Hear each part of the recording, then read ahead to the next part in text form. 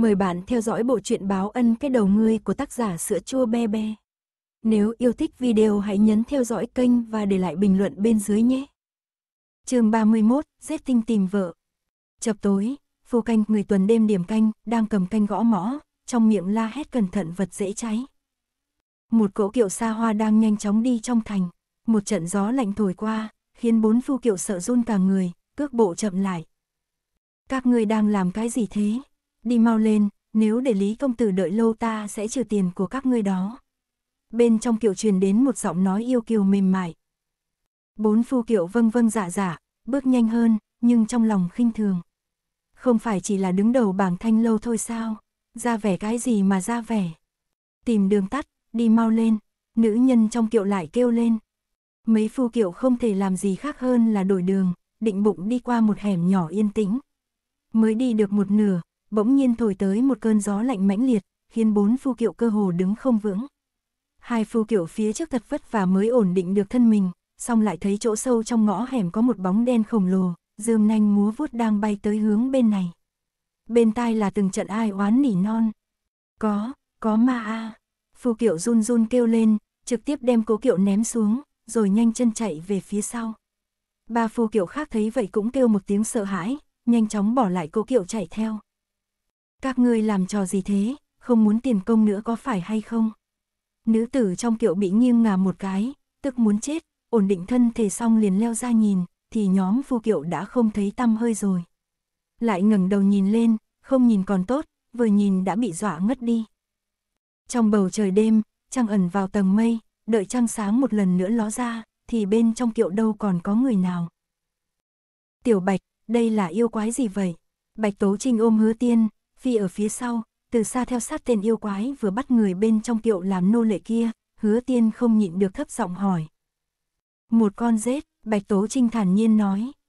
Hứa tiên sừng sốt, thật đúng là rết tinh sao. Vậy, vậy rết kia có phải kẻ địch trời sinh của rắn hay không?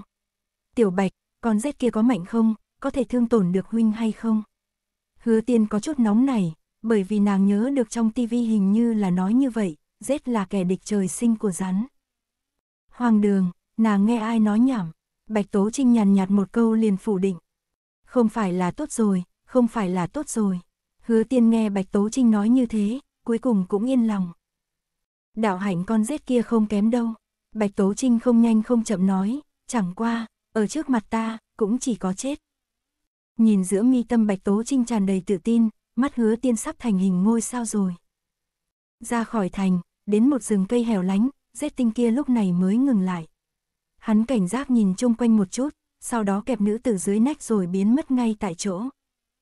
Bạch Tố Trinh cũng rơi xuống, buông hứa tiên ra, rồi làm kết ấn, cảnh vật trước mặt dần dần vặn vẹo thay đổi. Vốn là rừng cây giờ xuất hiện một hang động tối đen. Thủ thuật che mắt mà thôi. Bạch Tố Trinh kéo hứa tiên qua, đi vào hang động kia. Tiểu Bạch, huynh nói những nữ tử bị bắt kia. Trên mặt hứa tiên hiện lên vẻ không đành lòng bị yêu quái bắt đi, còn có thể rơi vào tình trạng nào nữa đây? Bạch Tố Trinh cũng trầm mặc, hắn hiểu được, những nữ tử bị bắt kia sợ rằng lành ít giữ nhiều rồi. Bạch Tố Trinh kéo tay hứa tiên, đi sâu vào hang động.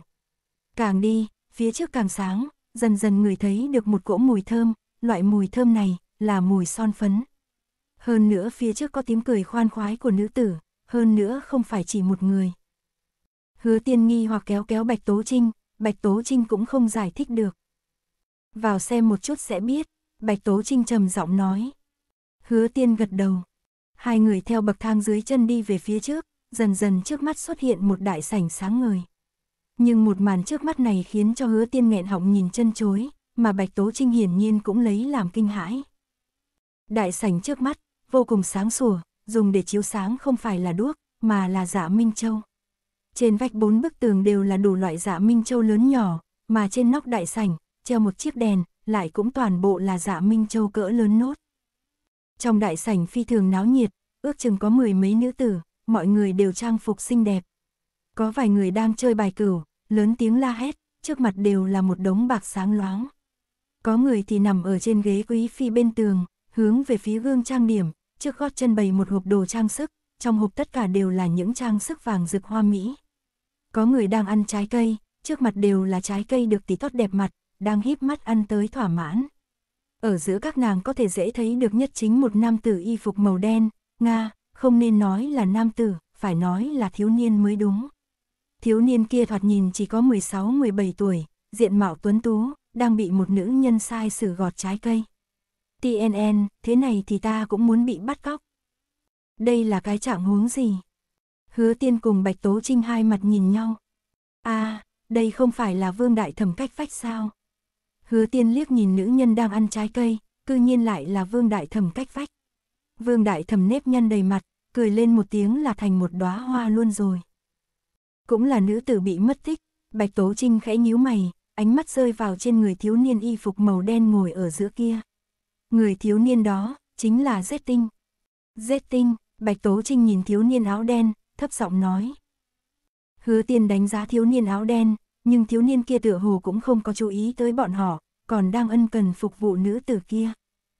Đây rốt cuộc là chuyện gì xảy ra? Hứa tiên kinh ngạc không thôi, nhấc chân đi về phía vương đại thẩm. Ô, hán văn, làm sao ngươi lại ở chỗ này thế? Vương đại thẩm ăn trái cây, cười híp mắt hỏi. Hứa tiên đánh giá vương đại thẩm, y phục trên người vương đại thẩm đều đổi thành tơ lụa thượng hạng, bức thêu phía trên lại càng tinh xảo. Trên đầu mang đủ loại châm cài, trên cổ đeo một chuỗi chân châu lớn, trên cổ tay lại là vòng vàng cùng vòng ngọc giá trị không hề nhỏ. Nhà vương đại thẩm túng thiếu như vậy, hứa tiên cũng không nghĩ là bà có thể tự mình mua những thứ đồ này. Ta, ta còn đang muốn hỏi các ngươi đây, thế này là thế nào? Hứa tiên khóe miệng co rút, hỏi ngược lại. À, vị mỹ nữ kia, người cũng muốn tới làm vợ ta sao? Vương Đại Thẩm còn chưa nói, thiếu niên áo đen kia đã phát hiện hứa tiên, liền chạy tới, trực tiếp tới một câu như vậy. Hứa tiên cứng ngắc quay đầu nhìn thiếu niên tuấn tú trước mặt, xác định đúng là hắn đang nói chuyện cùng mình, lúc này mới nói, ngươi mới vừa rồi, nói cái gì? Vị Mỹ nữ kia, ngươi là chủ động tới cửa muốn làm vợ ta sao? Thiếu niên hai mắt sáng trong suốt nhìn hứa tiên, lặp lại câu hỏi của mình. TNN, anh dám cướp vợ trước mặt bạch ca sao mặt cười chán sống rồi sao mặt cười, đến con bạch ca còn chưa có bản lĩnh đó đâu mặt cười. Ngươi muốn chết, không đợi hứa tiên trả lời, bạch tố trinh đã ở bên cạnh lạnh lùng mở miệng. Khi thế trong nháy mắt toàn bộ phóng ra, làm cho người ta cảm giác áp lực không nhỏ. Ngươi là ai? a xà tinh, làm sao ngươi lại vào đây? Muốn cướp vợ của ta sao? Ta cho ngươi biết, ta không sợ ngươi đâu. Thiếu niên áo đen lúc này mới thấy Bạch Tố Trinh, mặc dù cảm giác được pháp lực Bạch Tố Trinh ở trên hắn rất xa, hù hắn tới hai chân có chút run run, nói chuyện cũng hơi hơi run rẩy rồi, nhưng trong lời nói vẫn không chịu nhận thua. Xem ra ngươi quả thật muốn chết, Bạch Tố Trinh rút kiếm. Màn kế tiếp, khiến hứa tiên một lần nữa nghẹn họng nhìn chân chối. Chỉ thấy thiếu niên hắc y kia ôm đầu, trực tiếp ngồi xổm trên mặt đất, trong miệng ầm ĩ, hảo hán tha mạng a. Động tác có thể coi là nhanh nhẹn, giọng nói thì có thể xem là thê thảm. Lúc này, trong đại sảnh mới hoàng lên, đều vây tới đây. Thấy một màn như vậy, toàn bộ đều trợn mắt trừng Bạch Tố Trinh và Hứa Tiên. Gì đây, chúng ta là tới cứu các ngươi đó. Hắn là yêu tinh, các ngươi có biết không? Hứa Tiên bị đông đảo ánh mắt nóng rực vây quanh, chợt cảm thấy không ổn, vội vàng mở miệng nói. Ai muốn ngươi cứu hả? Đúng thế, nhiều chuyện. Chúng ta ở chỗ này rất tốt. Muốn về một mình ngươi trở về đi, phiền muốn chết, chớ quấy rầy chúng ta. Hứa tiên u mê rồi, đây là cái tình huống gì chứ? Nàng cùng tiểu bạch là tới cứu người có được hay không? Làm sao những nữ nhân này đều dùng ánh mắt thù hận nhìn nàng chứ? Thậm chí còn có xu hướng muốn động thủ. Bạch Tố Trinh không kiên nhẫn nữa, vung tay áo, tất cả nữ nhân trong đại sảnh nháy mắt liền hôn mê, mềm nhũn nằm vật xuống trên mặt đất. Uy, con rết nhỏ kia, nói một chút coi, rốt cuộc là làm sao đây? Hứa tiên tìm cái ghế ngồi xuống, nói với thiếu niên hắc y kia. Các người không giết ta ta mới nói. Thiếu niên áo đen không chịu, ôm đầu lầm bầm. Được, không giết ngươi, ngươi đứng lên nói rõ ràng đây rốt cuộc chuyện gì xảy ra. Hứa tiên cam kết, cũng phải đáp ứng không đánh ta ta mới nói. Thiếu niên áo đen lại bổ sung. Hứa tiên khóe miệng co rút, đây là cái logic gì đây? Cái gì bảo là không giết, sau đó mới là không đánh. Hứa tiên bất đắc dĩ nói, được, người đứng lên nói rõ ràng đi. Thỏa thuận xong, không được giết ta, cũng không được đánh ta đâu đó. Thiếu niên áo đen vẫn ôm đầu, lần nữa xác nhận, Bỗng nhiên, hứa tiên phát hiện mình thật có một loại xúc động muốn đánh chết hắn. TNN, mặt cười, ha. Đứng lên nói, không giết ngươi không đánh ngươi được chưa? Hứa tiên nhẫn lại dụ dỗ hắn. Thiếu niên áo đen lúc này mới đứng lên, cẩn thận từng tí nhìn Bạch Tố Trinh, rồi hướng sang bên cạnh dịch dịch mấy bước, lúc này mới quay đầu khai báo với hứa tiên. Hắn đã sâu sắc ý thức được, Bạch Tố Trinh chính là một phần tử nguy hiểm, hơn nữa vô cùng vô cùng nguy hiểm. Cùng thiếu niên áo đen nói chuyện đại khai xong, hứa tiên đã vô lực muốn ói rồi. Người nói, người muốn tìm vợ. Phải. Cho nên người đem những nữ nhân này mang về. Phải. Theo ý ngươi thì họ đều là mỹ nữ.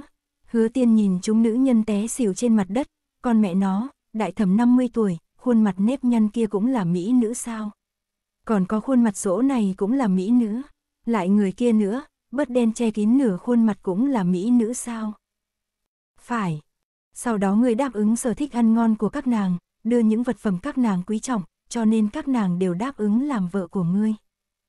Phải. Từ đầu tới đuôi, thiếu niên áo đen đều ngoan ngoãn trả lời nghi vấn của hứa tiên, thái độ được xem là phối hợp, có thể dùng từ tốt để khái quát. Người lấy đâu ra nhiều thứ tốt như vậy? Hứa tiên nhìn đống dạ Minh Châu cùng đồ trang sức bọn nữ tử đeo trên người, thuận miệng hỏi. Cha ta cho, thiếu niên áo đen trả lời trôi chảy, cha ta rất lợi hại, dạy ta rất nhiều thứ. Nói xong, còn kiêu ngạo ưỡn ngực. Dạy ngươi cách tìm vợ thế này sao? Hứa tiên rất là khinh bỉ. Đúng thế, các nàng đều đáp ứng làm vợ của ta đó thôi. Thiếu niên áo đen càng kiêu ngạo hơn. Bạch Tố Trinh ở bên cạnh rất muốn một kiếm chém chết hắn, song vẫn nhịn được. Nơi này có rất nhiều người đã là vợ người khác, biết không? Không thể đoạt vợ của người khác. Hơn nữa, những người này cũng không phải thật lòng muốn làm vợ ngươi, biết không? Các nàng chỉ là nhìn chúng tiền tài của ngươi mà thôi, biết không? Còn có, cái quan niệm mỹ nữ trong đầu ngươi cũng sai bét rồi, có biết không? Hứa tiên đè lại gân xanh thình thịch trực nhảy trên chán, nhẫn lại giáo huấn thiếu niên áo đen, Người có biết những nữ tử này bị ngươi bắt đi, người trong nhà đều lo lắng muốn chết rồi. Còn có người sẽ vì chuyện lần này mà phải gánh trách nhiệm, bị đánh đến liệt giường đó. Hứa tiên tận tình khuyên bảo. Thiếu niên nghe xong trợn mắt há hốc mồm, một hồi lâu mới lấy lại tinh thần, vẻ mặt đưa đám nói, các nàng, đều không phải thật lòng muốn làm vợ ta sao? Phải, hứa tiên nghiêm trọng trả lời. Thiếu niên áo đen cúi đầu, tâm tình xuống thấp. Hứa tiên nhìn bộ dạng như đưa đám của hắn, đang muốn lên tiếng an ủi. Ai rẻ thiếu niên áo đen đột nhiên ngẩng đầu, khuôn mặt tuấn tú trong nháy mắt hoa lệ biến chuyển, giữ tợn kêu lên ta đây giết các nàng. Hứa tiên bị hù sợ lùi ra sau, thiếu chút nữa ngã từ trên ghế xuống. Một câu lạnh như băng của Bạch Tố Trinh trực tiếp làm cho thiếu niên áo đen tỉnh táo lại, muốn chết. Sau một khắc, thiếu niên áo đen vừa lớn lối hoa lệ biến thân, liền nhanh chóng ôm đầu ngồi trồm hổm trên mặt đất, hảo hán tha mạng a. Trước sau tương phản quá lớn, làm cho người ta xem đủ. Hứa tiên khóe mắt rút rồi lại rút, vỗ vỗ ngực mình, mới nói, ngươi, ngươi đang ở đây diễn trò sao. Một đợt kinh sợ dọa người này, sắp khiến nàng bị bệnh tim luôn rồi. Không phải là diễn trò a cha ta dậy rồi, đánh thắng được thì đánh, đánh không lại thì bỏ chạy, chạy không được thì cầu xin tha thứ. Thiếu niên áo đen ngồi trồm hổm ôm đầu trên mặt đất, thành thật trả lời. Hắn biết rõ, mình đánh không lại cái tên mặc quần áo trắng, cũng chạy không nổi, cho nên liền cầu xin tha thứ. Cái loại cha gì đây a? Hứa tiên chợt cảm thấy cha giết tinh này thật đúng là cực phẩm. Đợi chút, cha giết tinh, không phải là cái tên kim bạt pháp vương kia sao? Kim bạt pháp vương lại dở hơi như vậy, còn dạy dỗ ra một đứa con trai dở hơi hơn như thế. Hứa tiên thương hại nhìn rết tinh ngồi trồm hổm trên mặt đất, thầm nghĩ, đứa trẻ đáng thương a hoàn toàn bị cha hắn làm hỏng rồi. Con mắt tìm vợ cùng phương pháp thật làm cho người ta câm nín không nói được lời nào, chẳng qua một câu cuối cùng này cũng là rất kinh điển. Đánh thắng được thì đánh, đánh không lại thì bỏ chạy, chạy không được thì cầu xin tha thứ. Khụ khụ, tiểu rết này, tìm vợ như ngươi vậy là không được rồi. Hứa tiên ngồi thẳng, ho khụ một cái, nghiêm túc nói, vợ, chỉ có thể có một. Ngươi thích nàng, nàng cũng phải thích ngươi. Chú ý nha, thích ngươi, không phải là thích tiền tài gì gì đó của ngươi. Mà phải là bất kể ngươi phát sinh chuyện gì, người đó đều nguyện ý theo ở bên cạnh ngươi. Thiếu niên áo đen còn ngồi trồm hổm trên mặt đất, ngẩng đầu nghi hoặc nhìn hứa tiên, nháy mắt, bỗng nhiên trong con ngươi phóng ra ánh sáng, mong đợi nhìn hứa tiên, thì ra là tìm vợ là tìm như vậy à. Người thật là hiểu biết sâu rộng nha. Vậy, ngươi giúp ta tìm vợ đi. Hứa tiên còn chưa kịp nói gì, thiếu niên áo đen lại vội vàng nói, người giúp ta tìm vợ, ta sau này sẽ không bắt người nữa. Còn có, những bảo bối này ta đều cho ngươi. Hơn nữa, nam tử bạch y bên cạnh ngươi này thoạt nhìn rất lợi hại nha, đi theo bên cạnh các ngươi sẽ không sợ bị thua thiệt. Cha đã dạy, muốn tìm núi dựa, muốn ôm trụ cột, thì phải ôm cột thật lớn thật mạnh mới được. Đương nhiên lời này hắn sẽ không ngu mà nói ra. TNN, ông bố này thật đúng là cực phẩm mà mặt cười. Hứa tiền ánh mắt dò hỏi nhìn Bạch Tố Trinh, Bạch Tố Trinh thản nhiên nói, muốn đi theo chúng ta cũng có thể. Nghe lời là được, Bạch Tố Trinh cũng đã nhìn ra, con rết nhỏ này, để mặc hắn tự ra ngoài, chắc chắn sẽ là một tai họa. Hơn nữa lại còn là loại không có chút tự giác nào kia. Thu về bên người cho hứa tiên sai bảo một chút cũng không tồi. Được được, ta nghe lời, ta sẽ rất nghe lời mà. Thiếu niên áo đen dùng sức gật đầu, lại nhìn về phía hứa tiên, vậy bây giờ ta nên làm cái gì? Có biện pháp nào xóa chi nhớ của các nàng ở chỗ này hay không, sau đó đưa trở về?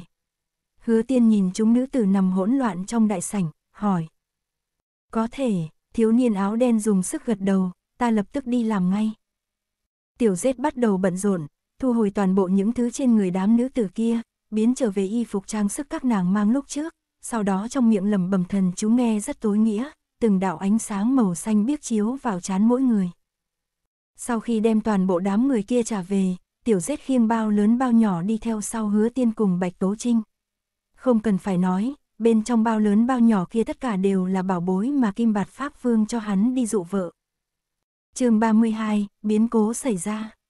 Cứ như vậy, hứa tiên mang tiểu rết về nhà, nói với hứa Kiều Dung đây là họ hàng thân thích của Bạch Tố Trinh tới ở nhờ. Hứa Kiều Dung hiền hậu đương nhiên sẽ không có ý kiến gì, huống chi hứa tiên mỗi tháng đều đưa ngân lượng cho nàng, so với lương của Lý Công Phủ còn nhiều hơn. Miệng tiểu rết cũng ngọt, mở miệng ngậm miệng một tiếng tì tì, khiến hứa Kiều Dung lại càng thích. Ngày thứ hai, Lý Công Phủ vẻ mặt đau khổ, dấu chấm dấu phải đi đến nha môn, chuẩn bị tiếp nhận pháo nổ của chi huyện. Ai ngờ lại hay tin mấy nữ tử mất tích toàn bộ đã trở lại, chuyện cứ như vậy không minh bạch chấm dứt rồi. Bất kể nói thế nào, Lý Công Phủ rốt cục cũng không bị trách cứ nữa rồi, tâm tình tự nhiên cũng tốt lên. Hứa Kiều Dung biết chuyện mừng rỡ, liền nói buổi tối phải ăn một bữa thật ngon, để an ủi và ăn mừng cho Lý Công Phủ. Chúng ta thịt nướng ăn đi, tỷ, tỷ nhìn thỏ ta nuôi có đủ mập không? Còn có mấy con gà kia nữa, chúng ta đi mua thêm vài món nữa là được rồi. Hứa tiên vừa nghe sẽ tới ăn liền hăng hái. Đối với nàng mà nói, ăn, ngủ, chơi là tam đại hưởng thụ của nhân sinh đời người.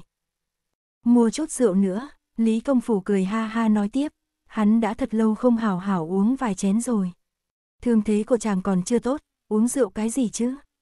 Hứa Kiều Dung trợn mắt nhìn. Lý Công Phủ ngượng ngùng sờ sờ cái mũi của mình, sau đó ánh mắt cầu cứu nhìn về phía hứa tiên. Hứa tiên lôi kéo ống tay áo của hứa Kiều Dung tỷ, lần này tỷ phu vượt qua nguy hiểm, trong lòng cao hứng, tỷ cũng đừng ngăn nữa mà. Nói cái gì đó, vết thương còn chưa lành, muội đứa nhỏ đáng chết. Chấm ngoặc kép, hứa Kiều Dung vừa hướng hứa tiên phát hỏa, hứa tiên lại sờ lên bụng nàng. Hắc hắc, tỷ, không nên nóng này, bình tĩnh một chút, vì hài tử trong bụng, phải giữ tâm tình ổn định thật tốt đó. Hứa tiên nhìn bụng hứa Kiều Dung cười hì hì nói. Vừa nhắc tới bụng, hứa Kiều Dung liền an tĩnh lại, suy nghĩ một chút mới nói, không cho phép uống quá nhiều.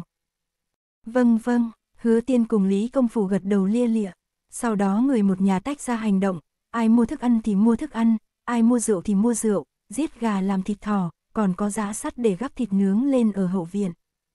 Lúc giết gà, hứa tiên giơ con gà lên, không biết ra tay thế nào.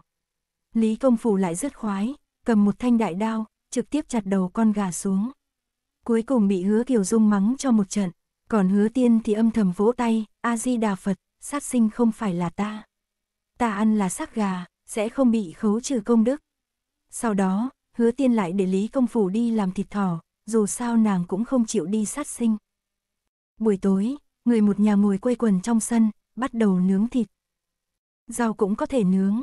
Tiểu dết kinh ngạc nhìn hứa tiên thuần tục lật nướng đủ các loại rau, ở phía trên rác đồ gia vị, mùi thơm liền tràn ngập khắp sân.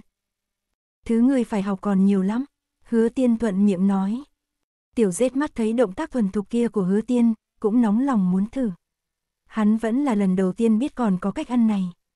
Quả nhiên, hứa tiên rất lợi hại, đi theo bên người nàng có thể học được rất nhiều thứ. Tiểu dết nắm chặt tay, ý nghĩ phải đi theo bên cạnh hứa tiên trong lòng càng kiên định hơn. Bé cô cắn ngón tay, dương mắt nhìn đồ đã nướng xong.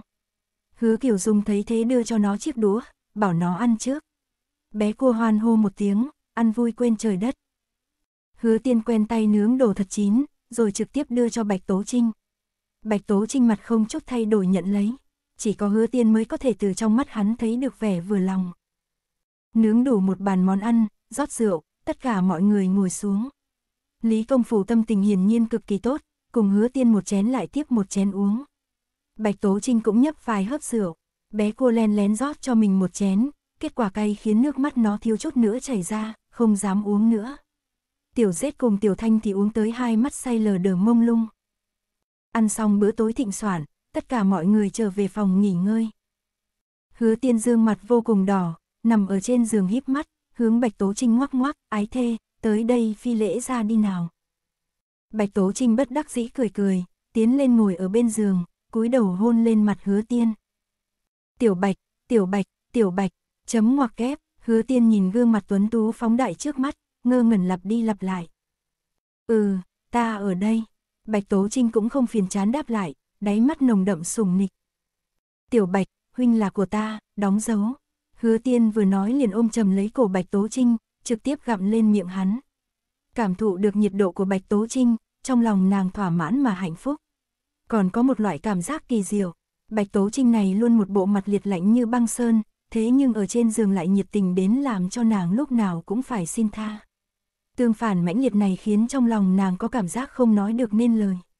Kể từ khi có linh căn, bắt đầu tu luyện, nàng mới không còn cảm thấy đau lưng vào sáng sớm nữa. Bạch Tố Trinh khẽ mỉm cười, sắp muốn hòa hợp. Đúng lúc đó, cửa đột nhiên bị đẩy tung ra, đứng ở ngoài là Tiểu Thanh bộ dạng hoảng hốt. Sắc mặt Bạch Tố Trinh trầm xuống, may là không phải đang ở thời khắc mấu chốt bị cắt đứt, nếu không. Chuyện gì? Bạch Tố Trinh quay đầu, giọng có chút âm lãnh. Không, không xong rồi. Cái kia, cái kia, tỷ phu bị, bị ta hù chết rồi. Chấm ngoặc kép, tiểu thanh kinh hoàng gầm nhẹ. Cái gì, hứa tiên nghe xong thanh tỉnh không ít, từ trên giường ngồi bật dậy, nhìn tiểu thanh nói, làm sao, chuyện gì xảy ra. Ta uống nhiều quá, lúc đi nhà xí không biết làm sao choáng váng lại hiện ra nguyên hình, vừa lúc đó tỷ phu cũng tới. Hắn thấy nguyên hình của ta, liền, tiểu thanh bối rối không thôi, không biết làm sao. Hứa tiên dây dây thái dương, từ trên giường trượt xuống nói, mau, trước đem thi thể tỷ phu đưa vào đây đã. Thật xin lỗi, ta không phải là cố ý đâu. Tiểu thanh đầu đầy mồ hôi, trong lòng ấy náy không dứt, chờ khi ta tỉnh lại, hồn phách tỷ phu đã không thấy rồi. Xem ra là bị hắc bạch vô thường câu đi rồi. Bạch Tố Trinh bình tĩnh nói, đừng nóng vội, bây giờ ta lập tức đi chặn hắc bạch vô thường lại. Lời này vừa là an ủi Tiểu Thanh cũng là an ủi hứa tiên.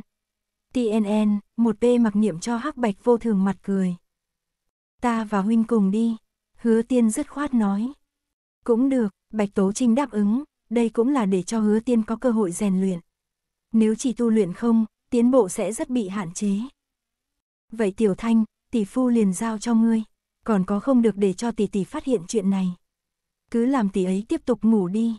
Hứa tiên suy tính, dặn dò. Ừ, Tiểu Thanh dùng sức gật đầu, đã không còn bối rối lúc trước. Đi thôi, Bạch Tố Trinh nói. Hứa tiên gật đầu, vừa muốn đi, lại chợt nhớ tới cái gì, trực tiếp truyền âm triệu tiểu rết cùng bé cô tới.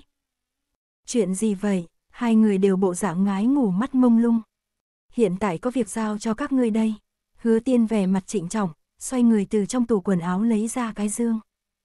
Tiểu thanh có chút gấp rồi, này là lúc nào, không nhanh đi chặn lại hắc bạch vô thường, còn lấy cái gì đồ chứ? Nhưng là sau một khắc thấy thư hứa tiên lấy ra, tiểu thanh liền cảm giác não mình ngừng hoạt động rồi. Đến tiệm bán vàng mã, nhiều thật nhiều tiền vàng về đây, sau đó đốt cho chúng ta mang theo. Hứa tiên lấy ra không ít bạc, chừng này hẳn là đủ để mua hết số vàng mã trong tiệm đi. Bạch Tố Trinh ngây ngốc, xong lập tức cười lên. Tiểu dết cùng bé cô nháy mắt, nhận bạc, gật đầu, sau đó ngoan ngoãn đi ra cửa. Nói thêm với Tiểu Thanh vài câu, rồi Bạch Tố Trinh mang theo hứa tiên ra ngoài. Lúc này Lý Công Phủ còn đang mơ mơ màng màng, một trận gió lạnh thổi qua, làm hắn thanh tỉnh chút ít. Nhìn xiềng xích trên cổ mình cùng cảnh vật u ám chung quanh, hắn lắc đầu, xác định mình không phải đang nằm mơ. Đây là nơi nào, chuyện gì xảy ra, Lý Công Phủ dừng bước lại, lầm bầm sau đó quay đầu nhìn về bên phải. Vừa quay đầu liền thấy một nam tử áo trắng vẻ mặt xanh xao, hai mắt vô thần nhìn phía trước. Mà trên tay của hắn đang cầm một đầu dây xích câu ở trên cổ Lý Công Phủ.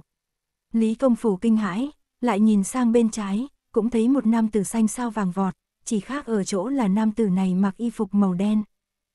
Các ngươi là ai, muốn dẫn ta đi đâu? Lý Công Phủ kinh hô. Người đã chết rồi, đừng ầm ĩ nữa. Chúng ta đang đi phong đô.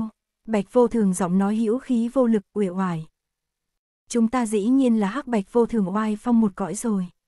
Đàng hoàng chút đi, bằng không cẩn thận ta đánh ngươi đó. Hắc vô thường đe dọa, tâm tình thật sự không tốt. Ta đã chết, làm sao có thể, ta lại không có làm chuyện xấu gì. Ta vẫn còn trẻ mà. Ô, chấm ngoặc kép, Lý Công Phủ lời còn chưa nói hết, một miếng vải rách liền bịt miệng hắn. Miếng vải rách kia không biết bạch vô thường lấy được từ chỗ nào, mùi thối sông thiên, thiếu chút nữa hôn ngất Lý Công Phủ. Ai, tháng này không làm được nhiệm vụ, không có tiền thưởng a Bạch vô thường than thở. Còn tiền thưởng sao, lương tháng có thể cho chúng ta lĩnh đủ cũng đã không tệ rồi. Nguyên nhân tâm tình hắc vô thường không tốt chính là ở chỗ này đây. Mấy miệng ăn kia ở nhà ta đã nói, nếu tháng này vẫn ít tiền như vậy thì sẽ tống ta ra khỏi cửa đó a. Bạch vô thường vẻ mặt đưa đám, không để ý có mất thể diện hay không, nói thẳng nói thật. Chấm ngoặc kép, hắc vô thường đầu tiên là trầm mặc, tiếp theo vô lực giật giật khóe miệng, nói, ta tháng trước đã ngủ hơn nửa tháng ở ngoài hành lang rồi. TNN, ha tác giả ơi bà có thể biến thái hơn nữa không mặt cười, sao cào tường sao? Ai, chấm ngoặc kép, ai, chấm ngoặc kép. Hai người đồng thời than thở, sau đó tăng nhanh tốc độ đi tới phong đô. Lý Công Phủ nghe những lời này, cảm giác mình hẳn là đang nằm mơ. Nhưng là miếng vải rách hôi thối kia nói cho hắn biết đây không phải là mơ. Hơn nữa trong lòng Lý Công Phủ còn dâng lên một chút cảm giác khiến hắn cảm thấy thật quỷ dị. Đó chính là đồng tình với hai vị quỷ sai này. Hắn là bộ khoái, nhưng nha môn cho tới bây giờ cũng chưa từng hoãn lương tháng hay khấu trừ lương tháng gì đó vân vân. Nương tử nhà mình cũng sẽ không phạt hắn ngủ hành lang gì đó. Lý Công Phủ nghĩ xong, lại nghĩ tới lý do tại sao mình chết. Rõ ràng tối nay uống rượu uống rất sung sướng, rồi cùng nương tử đi ngủ, sau đó đi nhà xí. Tiếp theo, a đúng rồi, là mình vừa mở cửa liền thấy một cái miệng to như chậu máu, một con thanh xà khổng lồ. Răng nanh trắng héo, vảy lóe hàn quang màu xanh, xem chừng miệng rộng tới có thể một ngụm nuốt mình chừng vào. Sau đó, liền mất đi ý thức, Lý Công Phủ bỗng nhiên rất muốn che mặt, thì ra là mình là bị hù sợ mà chết. Quá mất mặt mà. Rất nhanh, hắc bạch vô thường giải Lý Công Phủ đến cửa phong đô, uể oải bắt chuyện cùng quỷ sai giữ cửa, rồi tiến vào. Mà ở phía sau bọn họ không xa, là vẻ mặt gấp gáp của hứa tiên cùng Bạch Tố Trinh. Tiểu Bạch, bọn họ vào phong đô mất rồi. Hứa tiên thấy bóng dáng phía trước, vội vàng nói. Vẫn chậm một bước, tỷ phu đã bị mang vào phong đô rồi. Không sao, đoạt lại là được. Bạch Tố Trinh rất bình tĩnh. Cảm ơn bạn đã ghé thăm kênh Holic Audio. chương 33, Hắc Bạch vô thường rất nghèo. Hứa tiên lôi kéo Bạch Tố Trinh cũng vội vàng đi về phía của phong đô, lại bị hai quỷ sai gác cửa ngăn cản. Lớn mật, yêu tinh nơi nào đến, dám, cùng phàm nhân, xông vào thành phong đô. Quỷ sai kia quát lớn, khi nhìn thấy hứa tiên thì vô cùng sừng sốt. Bạch Tố Trinh sắc mặt lạnh lèo, định ra tay đánh.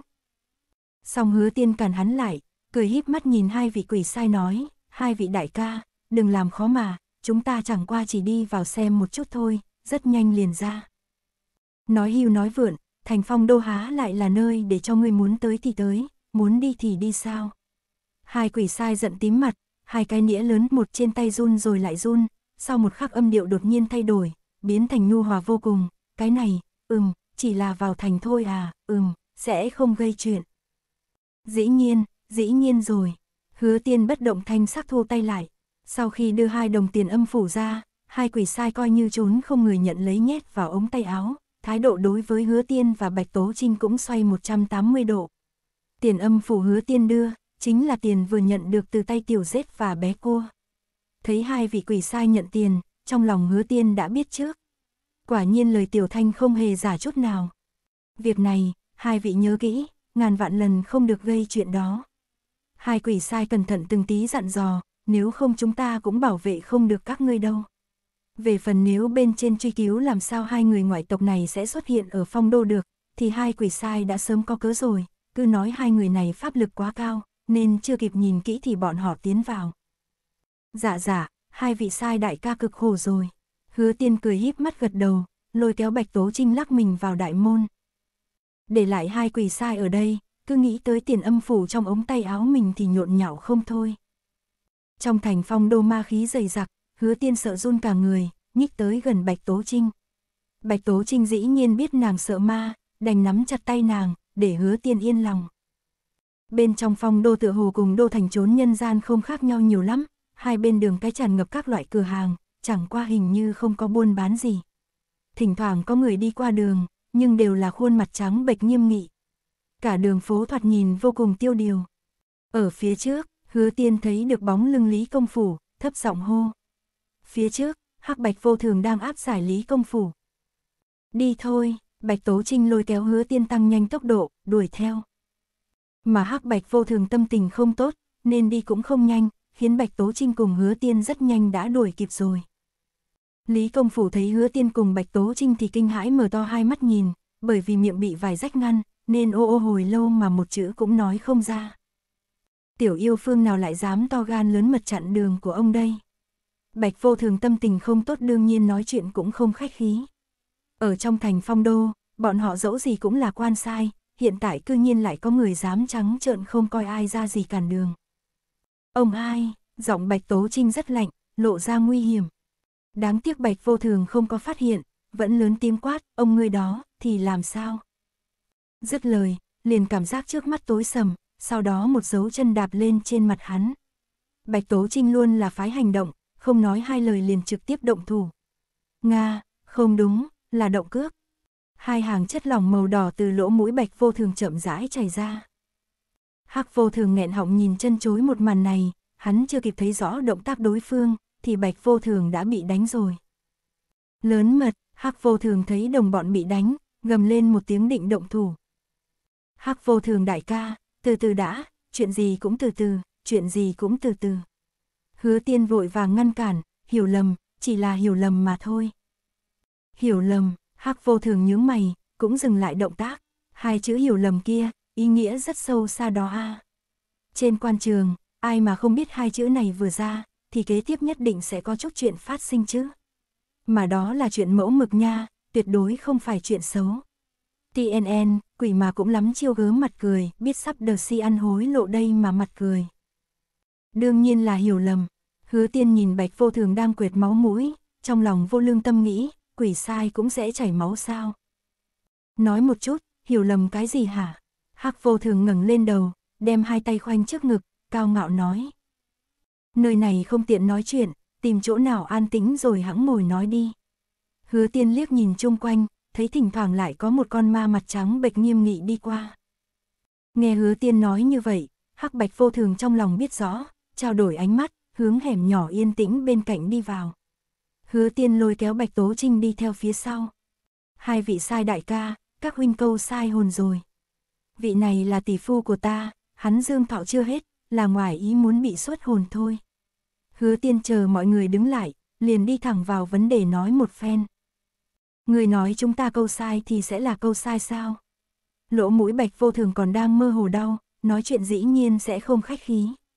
Nếu không phải hắn cảm thấy được đánh không lại tên yêu tinh bạch y kia, thì hắn đã sớm nhào tới liều mạng rồi. Trong lòng đau đớn, đồng dạng mặc bạch y, tại sao người ta mặc vào liền phiêu giật xuất trần như thế, còn mình mặc vào lại tử khí trầm trầm như vậy. Hắc vô thường cũng đang suy tư xem lời hứa tiên có mấy phần đáng tin. Gần đây việc sinh ý của bọn hắn không tốt lắm, cho nên vừa thấy hồn phách liền bắt. Nếu không câu sai hồn thì còn tốt, chứ câu sai bọn họ lại sẽ bị phạt. Lại còn trừ lương nữa, thì tiền lương ít đến thảm kia chẳng phải sẽ mất hết sao. Thật sự là câu nhầm rồi mà. Hai vị sai đại ca, có thể châm trước một chút không? Thả tỷ phu của ta ra. Hứa tiên có chút gấp rồi, trực tiếp từ trong tay áo lấy ra một chồng tiền âm thật dày, đưa tới trước mặt hắc bạch vô thường, đây là một chút hiếu kính hai vị sai đại ca, hai vị sai đại ca cầm lấy uống trà đi. Hứa tiên trong lòng thật ra cũng có chút thấp thỏm, không chắc lắm. Chiêu hối lộ này ở đây có thực hiện được hay không?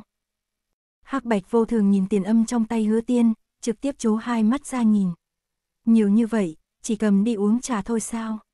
Nhìn hắc bạch vô thường vẫn không nhúc nhích, hứa tiên hiểu lầm, cho là không đủ tiền, lại từ trong ống tay áo móc ra một chồng nữa, nói, hai vị sai đại ca, châm trước một lần đi. Nếu nào đến phán quan vậy cũng không tốt, đúng không? Chuyện câu nhầm hồn phách này phán quan sẽ truy cứu đó. hắc bạch vô thường nhìn chằm chằm đống tiền âm trong tay hứa tiên, thay nhau nuốt một ngụm nước bọt, tay run run.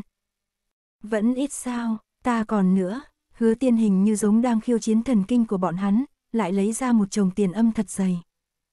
Đủ, đủ rồi, chấm ngoặc kép, giọng hắc bạch vô thường đều run run. Hứa tiên nháy mắt nhìn hắc bạch vô thường, lúc này mới phát giác, bọn họ không phải chê ít, mà là quá nhiều khiến bọn họ hưng phấn tới sắp chịu không được nữa rồi. Vậy, hồn phách của tỷ phu ta, chấm ngoặc kép, hứa tiên đem chồng tiền âm rụt về. hắc bạch vô thường lập tức xuất thủ, động tác được gọi là lưu loát sinh động A. Hai người vội vàng đem chồng tiền đoạt lấy, thay một bộ mặt nịnh hót tươi cười, dĩ nhiên không thành vấn đề, không thành vấn đề. Cứ mang đi đi. Nhìn bộ dạng hai người hưng phấn khiến hứa tiên một trận ác hàn, nàng không nghi ngờ chút nào, hiện tại nếu cho thêm bọn họ một chút tiền, để bọn họ đem mặt dơ lên cho tiểu bạch dẫm mấy cước bọn họ cũng nguyện ý. Bạch Tố Trinh ở một bên, vẫn trầm mặc nhìn một màn này. Hắn đã vô lực nói không nói được gì nữa rồi. Ha ha, cái kia, đại tỷ, hồn phách ngươi mang về đi. Chúng ta câu nhầm hồn, kính xin tả tội. hắc bạch vô thường cất tiền xong, chắp tay nhận lỗi với hứa tiên. Cái này ngay cả xương hô cũng đổi luôn rồi. Hứa tiên giật giật khóe miệng, không dám, không dám. Nếu như sau này có huynh đệ nào câu sai hồn, đại tỷ cứ tìm chúng ta. Số hiệu của chúng ta là số 292 nha. Bạch vô thường hiện tại cảm thấy mũi mình tuyệt không đau đớn, nhếch miệng cười nói với hứa tiên. TNN, đọc đoạn này sao ta lại nhớ tới khuyên khích bình chọn theo mã số thế nhỉ mặt cười, OMG ta cười chết mất sao cào giường sao. Số hiệu, hứa tiên nghi ngờ, hắc bạch vô thường không phải chỉ có hai người sao. Địa phủ không phải chỉ có một đôi hắc bạch vô thường thôi sao. Hứa tiên nghi ngờ hỏi. Sao có thể chứ, hắc vô thường ủy khuất kêu, chỉ hai người làm sao làm hết việc được. Có điều bây giờ cạnh tranh rất lớn a ai, một lời khó nói hết hắc vô thường vẻ mặt một bộ chuyện cũng nghĩ lại mà kinh. Bạch vô thường cũng than thở, tỷ nghe số thứ tự của chúng ta cũng biết có rất nhiều quỷ sai câu hồn giống chúng ta rồi đó. Hiện tại nhân số quá lớn, cuộc sống không hề dễ chịu a. Chấm ngoặc kép. Hứa tiên nhìn hắc bạch vô thường than ngắn thở dài, có chút hóa đá rồi. Không nghĩ tới địa phủ lại là cái bộ dáng này. Nghe khẩu khí hai người bọn họ, hình như rất thiếu tiền. Địa phủ cũng chú trọng kinh doanh sao? Đại tỷ, tỷ nhanh mang hồn phách đi đi. Bạch vô thường thúc giục. Hắn biết, nếu như bị những đồng liêu khác phát hiện bọn họ vụng trộm thả hồn phách thì sẽ bị phạt. Xong, điều hắn sợ nhất chính là những đồng liêu kia thấy sẽ chạy tới đòi chia phần. Đúng vậy a đại tỷ tỷ đi nhanh đi. Hắc vô thường cũng thanh tình lại, sau đó bổ sung một câu, nếu sau này lại phát sinh chuyện như vậy, nhớ tìm chúng ta nha, số hiệu của chúng ta là 292. Những thứ khác không nói, nhưng giúp tỷ chu toàn một chút thì vẫn có thể. Được, trước tạ ơn hai vị sai đại ca. Hứa tiên cũng chắp tay cảm ơn, sau đó nhìn về phía Lý Công Phủ đã hoàn toàn u mê. Nếu như trong miệng Lý Công Phủ không có khối vải rách kia, chỉ sợ miệng hắn sớm đã sùi bọt mép rồi. Bạch Tố Trinh thu hồn phách Lý Công Phủ vào, sau đó mới cùng hứa tiên đi về phía cửa phong đô. Hắc Bạch vô thường đưa mắt nhìn hai người rời đi, ánh mắt có thể coi là sầu triền miên.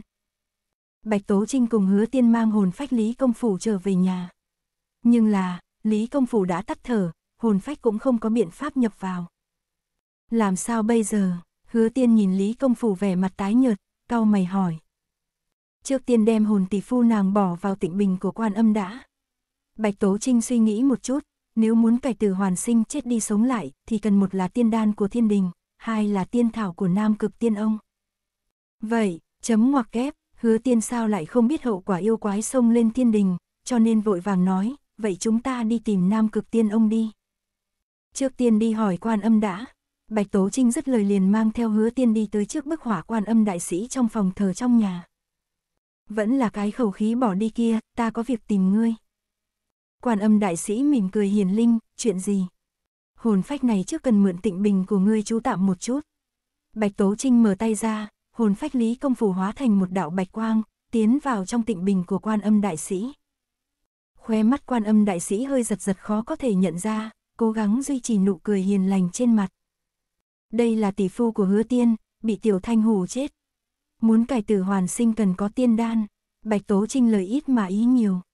Muốn tiên đan bây giờ không có tiền, quan âm đại sĩ lại bật thốt lên một câu như vậy, thấy bộ dạng chố mắt nhìn của hứa tiên, lúc này mới nhẹ ho một tiếng rồi nghiêm mặt nói, thái thượng lão quân gần đây sự vụ bận rộn, không có thời gian luyện đan. Vậy chỉ có thể đi tìm nam cực tiên ông rồi. Bạch Tố Trinh khẽ nhíu mày nói. Quan âm đại sĩ còn đang cố gắng giữ vững khuôn mặt tươi cười sắp bị phá nứt kia. Có thể tới gặp nam cực tiên ông không? Bạch Tố Trinh lại nói. Khóe miệng quan âm đại sĩ bắt đầu co quắp. Cảm ơn nhiều, Bạch Tố Trinh kế tiếp nhàn nhạt nói một câu hoàn toàn chữa khỏi quan âm đại sĩ sắp bạo tẩu phát điên. Quan âm đại sĩ trong lòng lệ rơi đầy mặt, không dễ dàng nha không dễ dàng, lại có thể nghe được một câu cảm tả của tên tiểu bạch xà không thèm nhìn mặt ai kia. Lòng ta rất an ủi a. Có thể, quan âm đại sĩ cười híp mắt nói. TNN, quan âm này thật dễ dụ mà mặt cười. Đa tả quan âm đại sĩ, hứa tiên rất thành kính, rất quy củ hành lễ. Nhìn thái độ này trong lòng quan âm đại sĩ cao hứng, cộng thêm hứa tiên thật mỗi ngày đều cung phụng mới trái cây tươi cùng nhang đèn thượng hạng cho hắn. Cho nên càng nhìn càng cảm thấy hứa tiên thật thuận mắt. Mau đi đi, để lâu tỷ phu ngươi sẽ hồn phi phách tán. Chuyện lấy tiên thảo và trở về phải trong vòng 12 canh giờ, không thể hơn. Quan âm đại sĩ hỏa ái nói với hứa tiên. Hứa tiên lại cảm ơn một hồi, quan âm đại sĩ lúc này mới biến mất. Đi thôi, đi tử vi sơn. Bạch Tố Trinh liếc mắt nhìn bức hỏa quan âm đại sĩ, thản nhiên nói. Động phủ của Nam Cực Tiên ông là ở tại Tử Vi Sơn. Bạch Tố Trinh ôm hứa tiên bay lên trời, hứa tiên thì mải suy tư Nam Cực Tiên ông là hình tượng gì, còn có đồng tử bên cạnh hắn nữa. Hình như một người là tiên hạc đồng tử, một người là linh lộc đồng tử. Phần này đến đây là hết. Mời các bạn theo dõi tiếp các video khác trên kênh.